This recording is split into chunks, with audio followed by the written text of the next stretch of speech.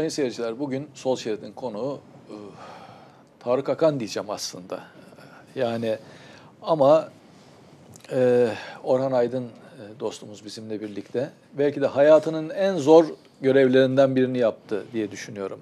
E, çünkü hani ben kendimi bir an onun yerine koydum seyrederken e, Tarık Akan'ı yolculama e, töreni sırasında, uğurlama töreni sırasında inanılmaz zor bir görevdi gerçekten. E, fakat müthiş bir e, duyarlılıkla ve soğukkanlılıkla yerine getirdi. Önce tebrik etmek isterim. Yani Teşekkür ederim. e, e, tiyatrocusunuz, e, sanatçısınız. E, böyle şey e, canlı sahne önündeki performansları yürütmek bazen çok zor olabilir ama bu bambaşka bir şey. Öyle Cüneyt. Yani ben yani nasıl nasıldı aşağı onu yukarı o en büyük kitlesel e, kalabalıkların oluştuğu 1 Mayıs törenlerinde sundum meydanlarda. Hmm, Yani bütün meslek hayatım boyunca e, demokrasi, hak, hukuk, eşitlik, 1 Mayıs gibi törenlerin tamamına destek verdim. Ve benden sunum yapılması istendiği zaman da e, bundan hiçbir zaman geri durmadım. Gerçekten 500-600 bin, 1 milyon insana yakın e, kitlelerin önüne çıktım ve sunumlar yaptım, şiirler okudum. Ama evet haklısın, hayatımın en zor günüydü. E, tuhaf bir şey. Aslında dünkü Sol Portalı yazımda bu var. Hemen ona da getirelim. Gerçekten e, sayın seyirciler bu yazıyı lütfen okuyun. E, bir vakit yaratın. E, yaşamaya dair e, diye.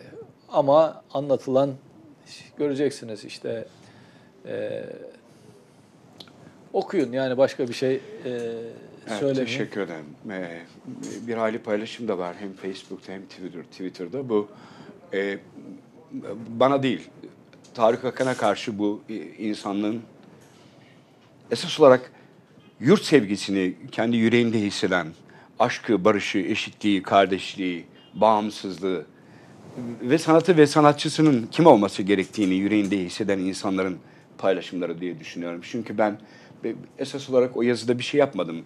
Sahne üzerinde yaşadığım duyguları aktardım ve törenin nasıl geçtiğini aktarmaya çalıştım. Gerçekten çok zordu. Hele şeyi yapsaydık galiba hiçbir sanatçı arkadaşımızın hmm, o, o sahneden sağlıklı hayata katılabileceğini e, varsayamazdım. Yani bir de Tarık'ın tabutunu sahnenin ortasına getirip koysaydık Ki genellikle getirilir değil mi? genellikle böyle durumlar? getirilirdi evet.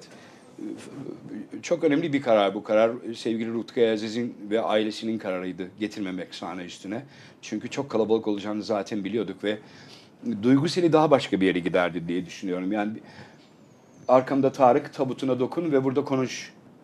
Yüreğinden bir parça orada yatıyor ve e, sen burada sunum yapacaksın. Onunla ilgili bir şey söyleyeceksin. İnsanlar çıkacaklar, konuşmalar yapacaklar, şarkılar söylenecek falan. Yani çok zorlanırdık. Zaten öyle yani. olmadığı halde bile muazzam bir duygu seli oldu evet, değil mi? maalesef öyle oldu. Yani ben daha merhaba dediğim an bütün salon ayağa kalktı ve e, alkışa durdu. Olmamış bir şeydi şimdiye kadar. Ben bu tür uğurlama ve yolculama e, törenlerini sunmadım hiç şimdiye kadar yapmadım. Yani benden istenmedi değil, istendi.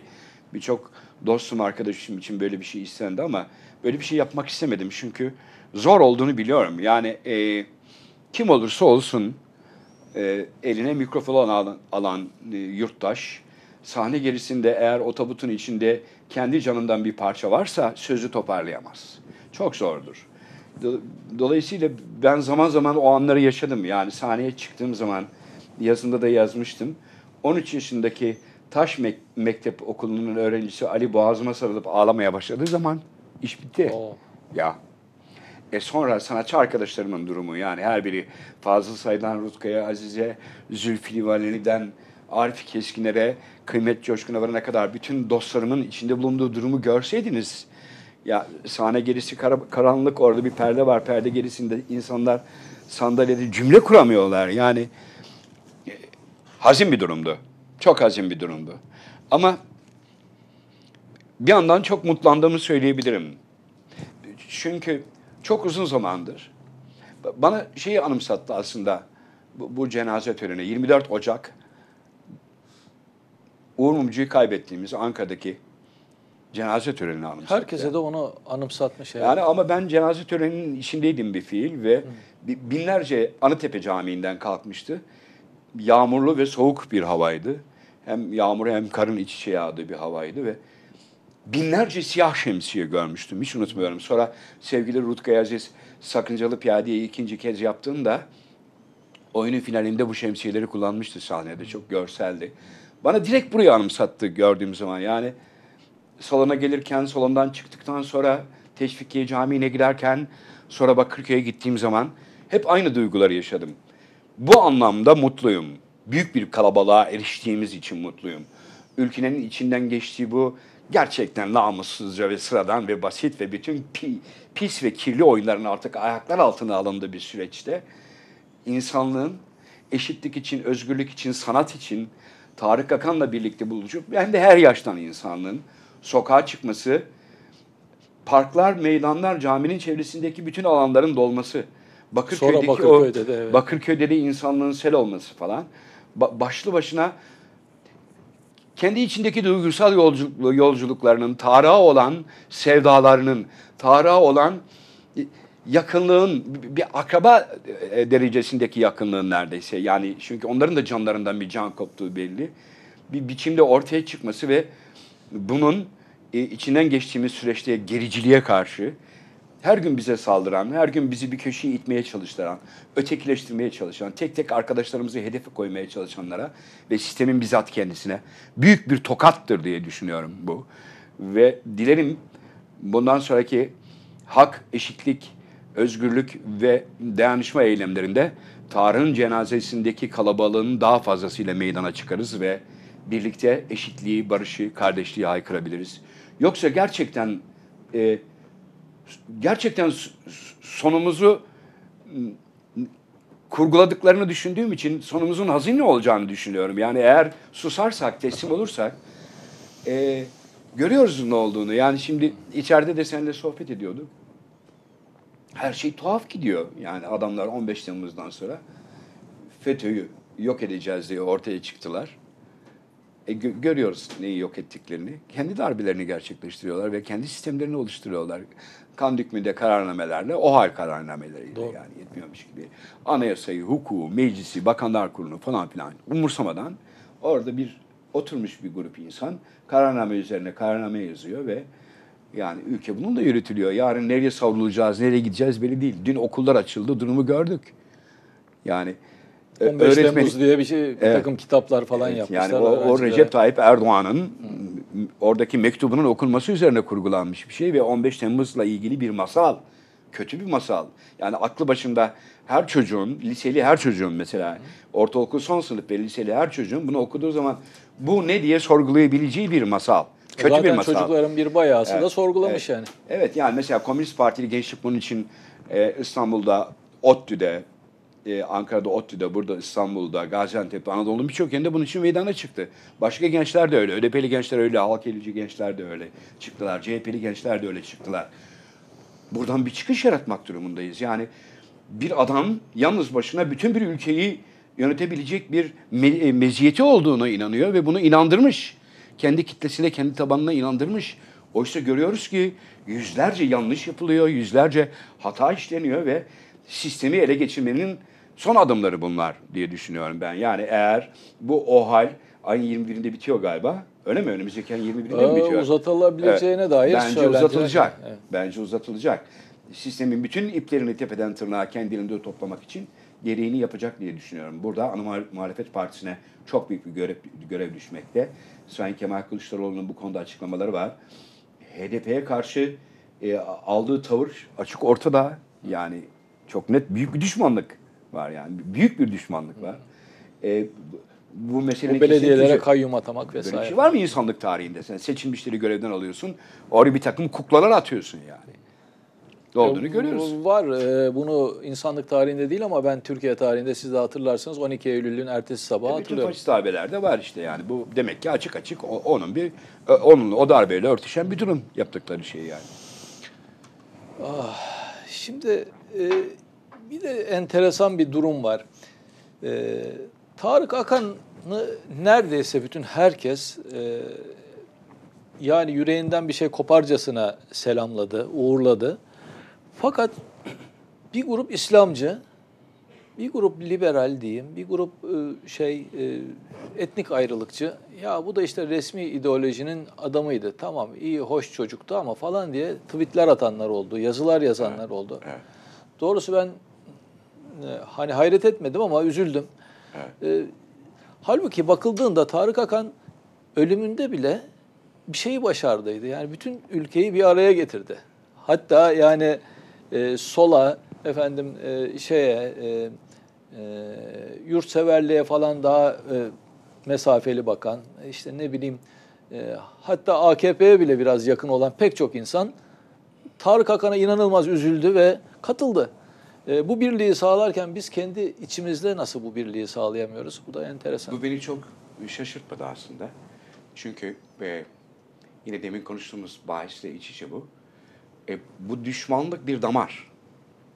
Kendi içimizde büyüyen bir damar yani bu ülkenin içinde büyüyen bir damar ve bu son 14 yıllık zaman dilimi içerisinde bu damar şişti kocaman bir balon bir dağ oldu artık yani. Çünkü tek noktadan körüklenen, tek noktadan emir ve komutla körüklenen bir düşmanlık bu. Ee, AKP'nin gençlik tabanının tamamı, il ve ilçe e, teşkilatlarının tamamı ve parti merkezinde sırf bunun için kurulmuş ofisler olduğunu biliyoruz ne olduğunu. Yani işte e, Akit dediğimiz bir tayfa var şeyde Twitter dünyasında ve Facebook dünyasının tamamında. Yaş ortalamalarına bakın 22-23. Yani 2002'de 10 yaşında olanlar şimdi 22-23 yaşındalar. Bunlar AKP'nin gençlik kolları ve taifesini temsil eden tayfalar.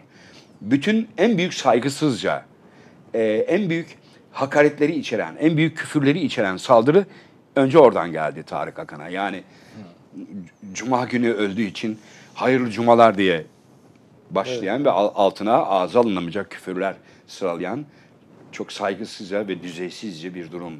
Ee, ona baktığınız zaman bu ülkenin bir yurttaşı olmaktan utanıyorsunuz ama bu, dalganın nereden geldiğini, bunun kaynağının ne olduğunu anladığınız zaman da gericiliğin nasıl saldırgan ve kendi halkına ve kendi insanına karşı nasıl bir düşmanlık beslediğini de çok rahatlıkla algılayabiliyorsunuz. Çünkü Tarık Akan yalnız bu ülkenin değeri değil ki. Tarık Akan 111 tane film üretmiş, 113 tane film üretmiş ama e, e, dünyanın açtığı o ışıklı yoldan da geçmiş. Dünya insanlığının da ortak mirası olabilecek işler üretmiş bir insan Tarık Akan. Yalnızca ulusal değil, evrensel bir sanatçı olmuş. Sen e, sadece yol değerine, filminden dolayı e, aldığı alınan ödülün Yolla, e, Duvarla, diğer duvarla. filmlerle Antalya Film Festivali'nde aldığı 7 tane ödülle, Adana'da aldıkları ödülle, yurdun dört bir yanından demokratik kitle örgütlerinden, sivil toplum örgütlerinden, basından aldığı övgüyle, halk halktan duyduğu sevgiyle, saygıyla Tarık Akan zaten gülen gözleriyle bu ülkenin bayrağı olmuş. Sen böyle bir insana karşı bu saygısızlığı yapabiliyorsan eğer senin alt metninde başka bir düşmanlık var o zaman. Kim var? Nefret var, kan var, öfke var. Sen ölümden besleniyorsun, sen katliamdan besleniyorsun o zaman. Senin insan olarak bu coğrafyanın üstünde ayaklarını basarak bu topraklarda yürüme hakkın yok o zaman. Öyle değil mi? Yani bunu tarttığın zaman insanlığın ortak değerine karşı olan saldırıyı böyle tarttığın zaman e o zaman biz yan yana yaşama şansımızı yitiririz. Değil Hadi mi? ama oralardan insan gene anlıyor. Yani çünkü hep böyle şeyler yapıyorlar. Yani o e, cenah diyelim. Ama yani hani derler ya dostum bir tek gülü yar, pa, yareler beni diye. Hani şu elleri Bu gericilikten gelen saldırıydı. Bilir liberallerden evet, işte ve kendini yani. devrimci sayanlardan, kendini ya sosyalist işte sayan evet. gerçekçilerden, sosyalist gerçekçi sayan tayfadan gelen saldırılar var ki buradan açık biçimde söylüyorum. Daha aşağılıkça.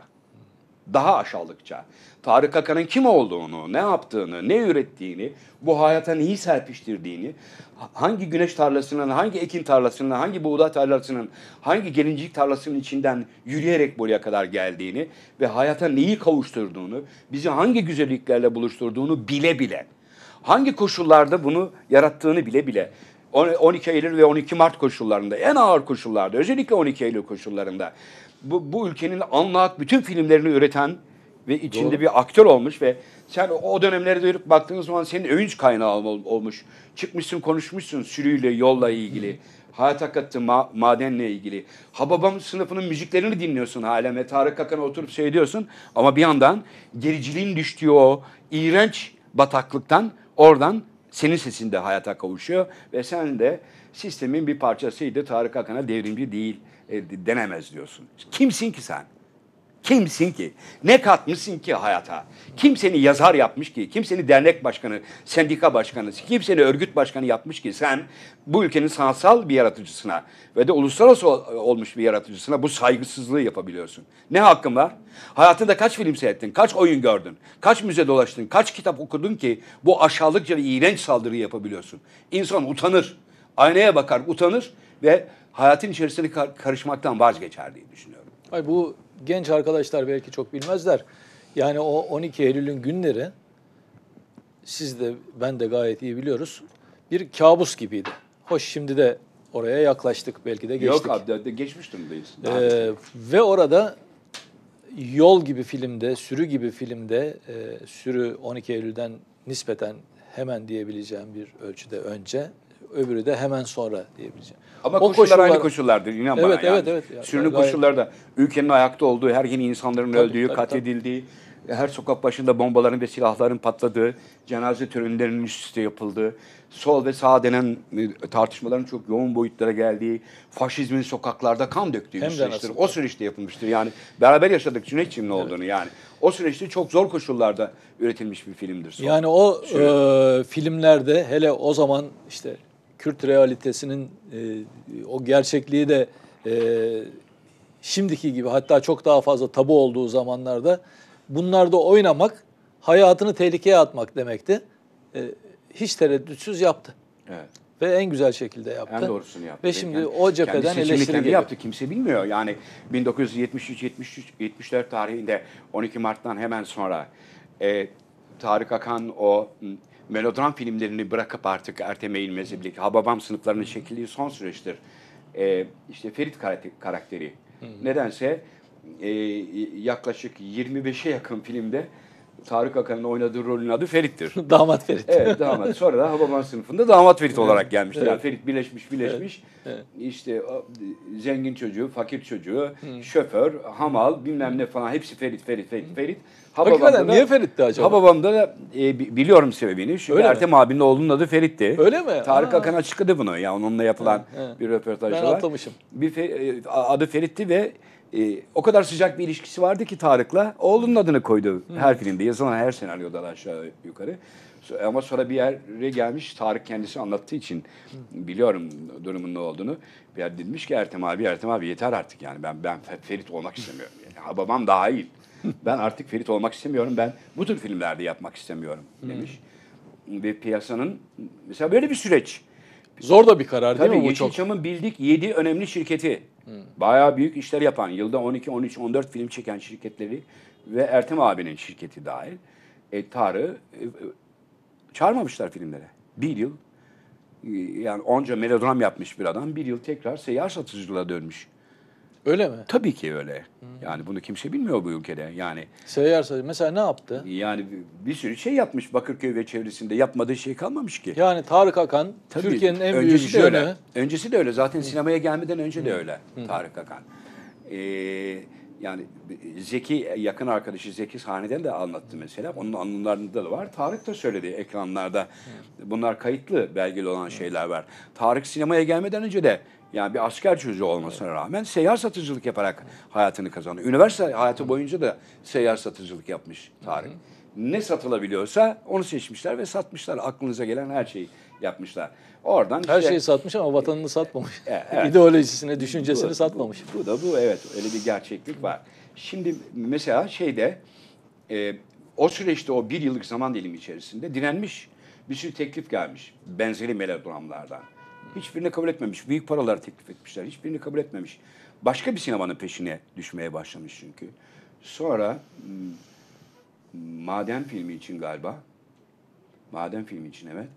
Arif Keskiner'le eee, kendisi birlikte bir ortak şirket kurmuşlar. Öncesi bir film daha var. Anımsamıyorum şimdi adını. Ortak bir şirket kurmuşlar ve en zor koşullarda Cüneyt Arkın'ı da ikna ederek, gidip kendisi ikna etmiş Cüneyt Arkın'ı. Hatta şey demiş yani, eee, Arif abinin anlatımlarından biliyorum. Arif Keskiner'in. Demiş ki iki tane rol var burada. Biri işçi önderi, öbürü sendikalı. Sendika başkanı. Cüneyt Bey hangisini istiyorsa onu oynasın. Yeter ki biz bu filmi yapalım.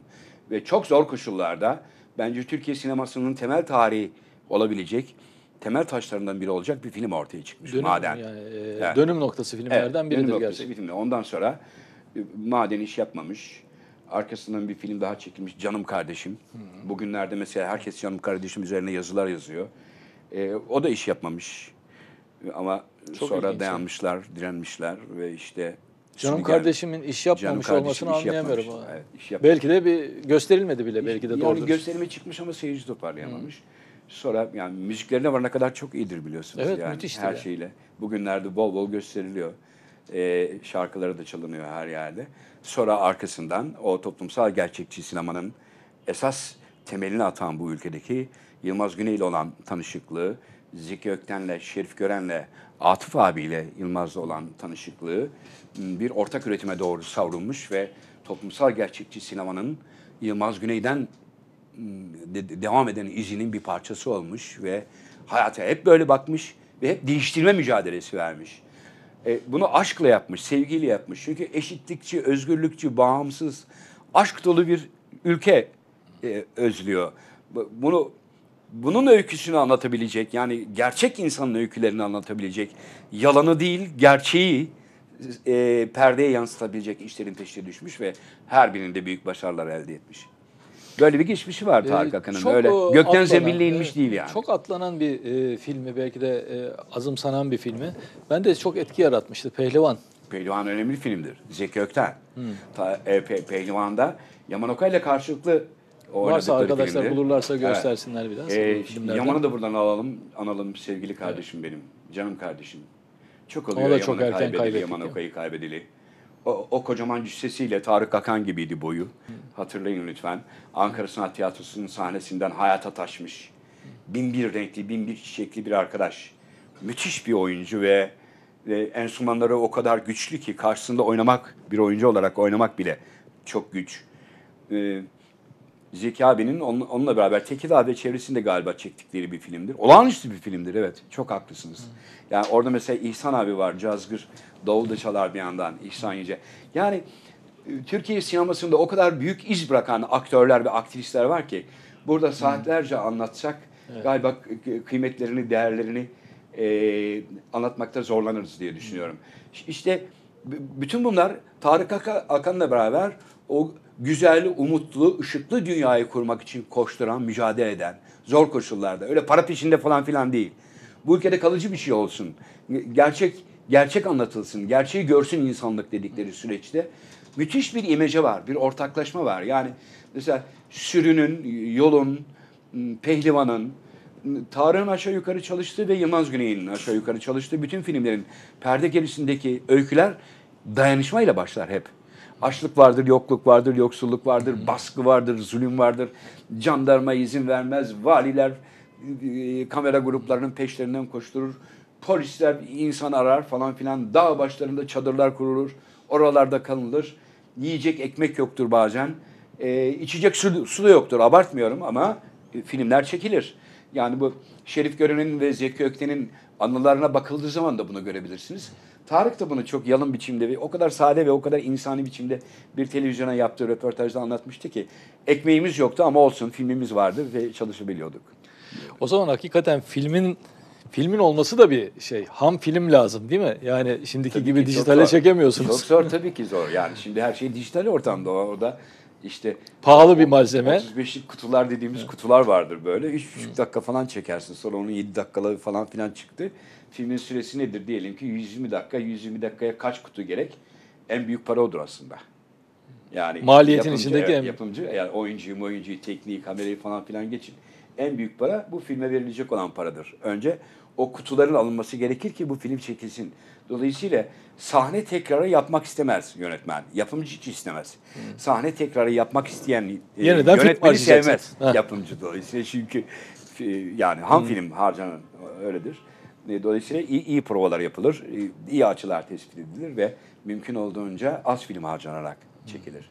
Yani dünya sineması mesela o, o tarihlerde bizim ülkemizde bütün bunlar yaşanırken öyle ham filmmiş, şu kadar kutuymuş falan filan adam kamyonla getirip yiyor yani. Kaç kutu harcarsan harcayacaksın. Ama benim ülkemde tam tersiydi. Yani Bizde birazdan rulo bitiyor ona göre bitirin. Sürüde de yolda da öbür filmlerde de Yılmaz abinin yaptığı birçok işte de aynı sorun. Türkiye'de bir de ithal malzemesi bu. Burada üretilmiyor. Oradan gelen bir malzeme. Bazı firmalar getiriyor falan. E, Seyircilerimiz Evet. çok bilmez. O dönemlerde Merkez Bankası döviz vermiyordu. Bir sürü şeyi ithal edemiyor. Hele böyle lüks sayılan. Tabii, tabii, tabii. Hiç hiç evet. Zor dönemlerdi. Zor dönemlerin içerisinden çıkmış gelmiş bir ışıklı aktördür. Yani bir de bunu bilmiyorlar güya. E, aynı süreçleri yaşadınız çünkü bu, bunu paylaşanların özellikle liberal ve kendine solcu diyen e, tayfa için söylüyorum, güruh için söylüyorum. E, bu dönemleri yaşadınız siz. Siz 12 Mart'ta da 12 Eylül'de yaşadınız. Bu coğrafyada sinema adına üretilen ışıklı işlerin kimlere ait olduğunu çok iyi Aynı biliyorsunuz. dönemde ben şimdi Bu, hatırlatayım. bu soysuzluğu yapmanızın anlamı ne? ne? Ne bu erdemsizlik? Efendim e, onların içinden bazılarının 12 Eylül'de de e, solcuları, devrimcileri kötü gösteren, e, işte kaba saba, yanlış, e, e, şu- bir takım olumsuz özelliklerle bezenmiş olarak gösteren sipariş filmleri yaptığını da gördük aynı dönemde. Gördük. Haklısınız. Gördük. Sonra durumlar düzelince arkadaşların Bu bahsi şöyle kapatmak istiyorum ya. Ben bunu daha önce yazdım, çizdim de soldaki yazılarımda da var. Paylaşmışım da. Ee, İki şeyin çaresi, iki şeyin çaresinin çözümü bir yerde duruyor, bir yerde kilitlenmiş duruyor. Bir, dinci gericiliğin, diğeri de liberalizmin. Bu iki temel hastalıktan, hastalık bunlar. Hastalık, akıl hastalığı. Dinci gericilik de liberalizm de akıl hastalığıdır. Bunun ikisinin tedavisi, tek tedavisi sosyalizmle olur. Net söylüyorum. Bu sistemin içinde sosyal demokrasinin çırpınışlarıyla, diğer yapıların haykırışlarıyla, bağırışlarıyla olacak şeyler değil bunlar. Çünkü bunlar kültürel altyapıları bile, kültürel altyapıları bile kökü çok eskiye dayanan bir geçmişi olan ve o gün bugüne kendini kirleterek, kirleterek, kirleterek, kirleterek çoğalmış gelmiş ve karşımızda düşmanlık olarak durmuş ve şimdi set olmaya çalışan olan yapılardır. Bunların tedavisi sosyalizmle mü- mü- mümkündür. Kendine istedikleri kadar sol desinler, onların nerede durduklarını bu iki bu tespitten hareketle baktığımız zaman rahatlıkla algı- algılayabiliriz diye düşünüyorum. E, başka bir şey daha var. Şimdi mesela Tarık'ın cenazesinden hemen öldüğü gün başlayan sonra cenazesinden sonra devam eden başka şeyler var. Bu dinci gericiliğin benim lağım çukuru dediğim yayın organlarındaki saldırılar var mesela. Aklınıza gelmez ya. Yani Cüneyt'ciğim yani böyle, böyle bir şey yok. Yani herhangi bir filmini alıyorlar. Mesela canım kardeşim onlardan bir tanesi. iki gündür ismini vermek istemiyorum şimdi o yayın organının. Bir sanatçı arkadaşım da İlyas Salman'ı da evvelsi gün hedef gösterdiler tekrar. Hepimizi tek tek hedef haftasına koyuyorlar. Onu bile canım kardeşim denen filmin bile içinde işte komünizm propagandası olduğunu falan filan. O kadar insani, o kadar ba- başka sıcak bir dünyanın, aşk dolu bir dünyanın sesi soluğu olan bir işi yani bir, bir, bir kültürel ürün- onlara ürünü göre bile insanlık zaten sosyalizm, etik- e, etiketlemeye evet. propagandası, Evet, insanlık propagandası. düşman göstermeye falan filan e, çalışan şeyler ve de e, lafı hiç dolandırmadan açık açık işte yani açık açık hedef gösteren işler. Bunlar utanç verici şeyler ya. Bunlar nereye kadar şimdi bu bu bu süre biter. Bu 2016 yılındayız. 2020'ye geliriz. 4 sene hadi yani ya da, ya da 2017 2018 ne olacağı belli değil bu coğrafyada. Her an her şey olabilir. Bu, bu halk, bu ülke Şeyh Bedrettinlerin, Pir Sultanların, Yunus Emre'lerin, Karacaoğlanların, Dadaloğullarının, Yılmaz Güneylilerin, bu ülke Tarık Akanların, bu ülke Nazım Hikmetlerin ülkesi. Bu ülkede ne olacağı belli olmaz. Bu ülke Pir Sultanların ülkesi. Ne Neler olacağı hiç belli olacağını, olmaz. neler olabileceğini e, kısa bir reklam arasından sonra bir de onu konuşalım sayın seyirciler. Neler olabilir aslında? Yani kısa bir reklam arasından sonra.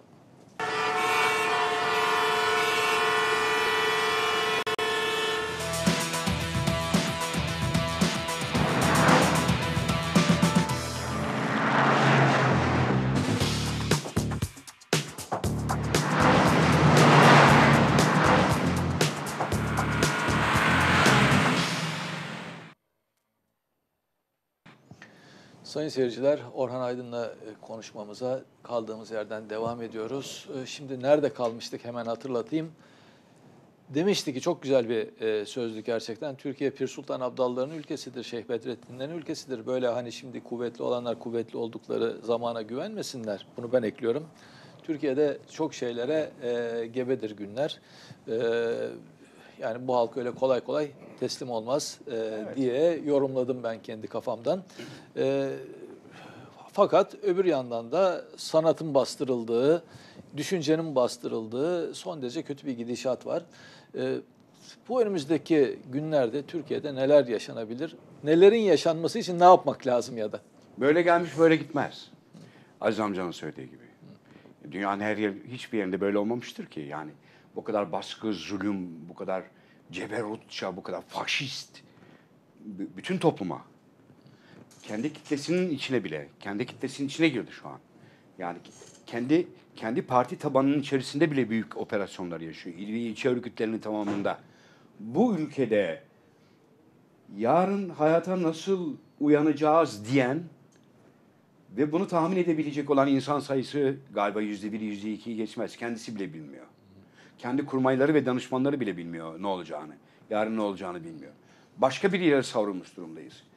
Cumhuriyet kurum ve kuruluşlarıyla çökmüştür. Bu sistem çökmüştür. Bu devletin hiçbir biçimde e, onarmaya çalışanlar bu devleti, orasına burasına yama yapmaya çalışanlar bu işi beceremeyecekler. Artık yama tutmaz durumda her şey. Ve Recep Tayyip Erdoğan ve kurduğu kabine, son kabine ve oluşturmaya kanun hükmünde kararnamelerle, OHAL yoluyla oluşturmaya çalıştığı yeni sistem temelden çürük bir sistemdir. Ne olduğunu görüyoruz. Yeryüzünde böyle bir sistem yok. Yeryüzünde bu çarkın, bu çarkın dönebileceğini söyleyen herhangi bir siyasi erk de yok. Sosyalistler çok net bir tanımlama yapıyorlar. Sistem çökmüştür. Yenisi eşitlikçi, özgürlükçü, bağımsız bir ülke olmalıdır. Sosyalist bir Türkiye'yi yeniden yaratmak durumundayız. Sosyalist bir Türkiye yaratmak, sosyalist bir cumhuriyet yaratmak zorundayız diyorlar. Ben bu düşünceye katılıyorum. Bu ülke bağımsızlık savaşı vermiş bir ülkedir ve hem içindeki hem dışındaki düşmanı şu ya da bu biçimde kovmuş hem de en yoksul koşullarda, en acımasız koşullarda kovmuş, bunu becerebilmiş, onurlarını birleştirmiş bir ülkedir ve şimdi kendi içindeki düşmanı temizleyebilecektir diye düşünüyorum. Uluslararası ayaklarının kim olduğunu biliyor bu ülkenin yurttaşları. Bu ülke öyle aptallar sürüsünden oluşan bir ülke değildir. Yani tamam Aziz amcanın yaptığı tanımlama bazı yerlere denk düşüyor bu coğrafyada. Bazı siyasi partilerin tabanına ve akıllarına belki denk düşüyor ama bu ülke yurttaşları da yaşıyorlar gerçeğin ne olduğunu görüyor. Ya ekmek küçülüyor, kanlandı. Ülkenin bir yarısı savaş savaş içindeyiz biz. Bu ülke savaşın ülkesi. Ülkenin bir yarısında Ve şimdi dışarıda da savaş Evet, içindeyiz. yani. yetmiyormuş gibi Suriye topraklarında bir, bir fiil savaşıyoruz şu an. Yani e, kendi coğrafyamıza da aynı savaş sürüyor. Yani hendeklerden başlayan e, e, kentleri ve illeri ve ilçeleri ve köyleri yakıp yok etmeye, kültürel alanları ve dokuları talan etmeye kadar süren, sonu kayyum meselesine kadar gelen başka bir ağır, kirli, iğrenç bir savaş sürerken orada e bir yandan da Suriye topraklarına girmiş durumdayız. Ne olduğunu görüyoruz. Her gün jetlerimiz kalkıyor. Oradan da ölüler geliyor. İnsanların evlerine Mehmetçikler geliyor, ölüler geliyor. Hepsi yoksul evlerine geliyor. Ekonomi ikide bir çıkıyor başbakan. Ama biz de bu ülkede yaşıyoruz. Maliye Bakanı, biz de bu ülkede yaşıyoruz Sayın Bakan. Ne olduğunu görüyoruz bu ülkede. Hayat durmuş durumda. Esnafın her türlüsü, küçüğünden büyüğüne, her türlüsü büyük acılar çekiyor. Yalnızca sizin sırtınızı dayadığınız sermaye grupları bu talan dünyasından, bu yalan dünyadan, bu rant dünyadan edindikleriyle yaşamalarını sürdürüyorlar. Siz de onun bir parçası olduğunuz için hayatın genel biçimiyle nasıl aktığını farkında değilsiniz. Bir yandan dereleri yok ediyorsunuz, ırmakları yok ediyorsunuz, ormanları yok ediyorsunuz, talan ediyorsunuz. Kültürel dokuları yok ediyorsunuz. Kentleri kentsel ülüşüm adıyla talan ediyorsunuz. Halkın elinden ekmeğini çalıyorsunuz. E, Bir yandan da ülkeyi savaşa, savaşa sokmuş durumdasınız. Şimdi hangi erdemli insanın durumuna yakışır bu? Hangi onurlu insan böyle bir coğrafyanın içerisinde yaşam mücadelesini isyan etmeden becerebilir? Ben dolayısıyla yakın bir zamanda sevgili Tarık'ın cenazesinde gördüğümüz o onurlu çoğunluğu yeter ki örgütlü olsunlar. Yeter ki örgütlü olsunlar. Yani Asıl ye- yeter ki yan yana galiba- gelmeyi Evet. becerebilsinler. Asıl onurlarını galiba. birleştirsinler yeter ki bir an önce kurtulabileceğimizi düşünüyorum. Zaten kendisi de anlatılamaz biçimde yani bunun tanımları var görüyoruz ne olduğunu. Giriyorlar birbirlerine. Kendileri de büyük bir sıkışma yaşıyorlar. Yani sistem e, kendisinin çöktüğünü kendisi e, kendisi izah ediyor. Kendisi anlatıyor ne Evet. olduğunu. Yani yürüyemiyorlar. Kendisi de bir e, partisinin içerisindeki operasyonu da becerdikten sonra işte kimileri 40 diyor, kimileri 50, kimileri 78 FETÖ'cü diyor tırnak Hı hı. Bunları ayıkladığı an kendi partisi de çöker. Bu kadar basit bu iş. Evet. Dolayısıyla bir, bir seçime gidecek. Başka çaresi, başka kurtuluşu yok. Ama şudur, son sözlerim galiba. Bu ülke barışın, kardeşliğin, aydınlığın e, yolunu açacaksa eğer bunu kültür sanat ana- alanındaki dostlarıyla birlikte yan yana durarak açabilecek. Açacaktır. Çünkü sanat aydınlıktır, sanat ışıktır, sanat gelecektir, sanat barıştır, sanat aşktır, sanat eşitliktir. Tarık Akan da bu yolun en büyük ışıklarından biriydi. Onun bıraktığı her şeye sahip çıkarak yarını daha güzelleştirebiliriz diye düşünüyorum. Evet efendim, e, bu sözün üstüne benim söyleyecek bir sözüm yok. Yeniden e, karşınızda olmak üzere. Hoşçakalın.